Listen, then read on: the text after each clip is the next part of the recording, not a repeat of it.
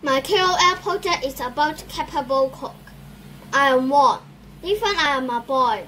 I need to learn cooking for my family. My mother said it is also good for my future wife. I will cook 10 different dishes of egg. Egg is good for our health.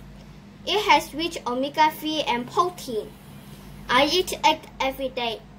For my breakfast, I eat boiled egg, fried egg, sunny side up egg, cold egg, and omelette egg.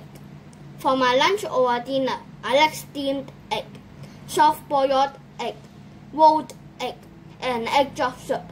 For my favorite dessert, it is pudding. Let's start cooking. Now I will cook rolled egg. Firstly, mix the egg. I will roll the egg.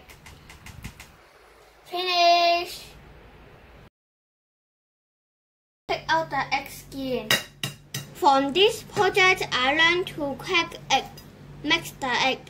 An area I can improve is to present the recipe more clearly. I cooked 10 different dishes of eggs. Two dishes look not very well but are delicious. One dish of the soft-boiled egg I failed first time.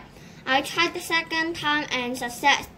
I feel happy and delicious because the eggs taste good. Next time I would like to study in making a birthday cake. Thank you mom for preparing food for me to cook.